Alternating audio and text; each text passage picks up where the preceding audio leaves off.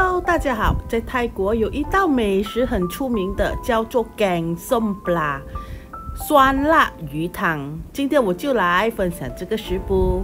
首先准备鱼，谁可以选一条鱼也可以的，或者像我这种选择一片一片的鱼肉，方便多。因为我人很怕刺的，所以说我选鱼片就安全啦。这个就是酸辣酱来的。它的成分材料呢，就是有这些，或者我会连一个 link 过去看我怎样做哈。然后准备十克的玉笋，玉笋看个人喜欢，要多要少，因为我很喜欢玉笋，所以说今天的玉笋会比较多。将它斜刀切成厚厚的薄片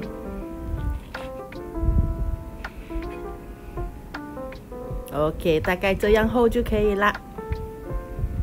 好，现在我们就可以来开始喽。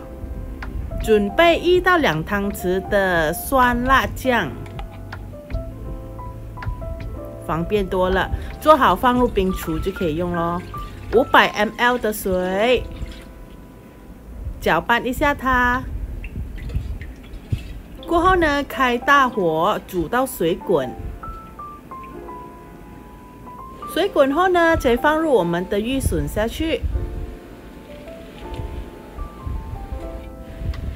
过后搅拌一下，将我们这个玉笋呢煮一下下，煮大概十五分钟左右就可以了。煮到我们的玉笋出那个真正的味道，因为有些玉笋是带酸，有些是带咸的。过后呢，煮了十五分钟，我们来试试看它的味道有什么味道。如果味道太咸呢，我们就少一点鱼露。现在放入两汤匙的鱼露。一汤匙的椰糖，没有椰糖呢，可以用白糖也可以的，没问题。放入一汤匙的罗旺子酱，阿三加味。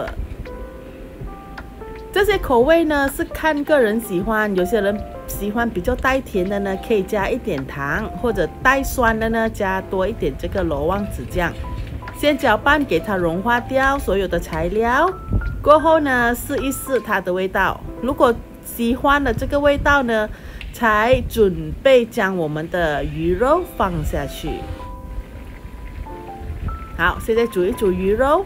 鱼肉倒下去后呢，轻轻的压扁下去，这样就可以了。给我们的鱼肉完完全全的被水盖过。尽量不要去搅拌它，因为鱼肉今天用的是鱼片来的，很容易碎的。好，煮到我们的鱼肉熟为止就可以了。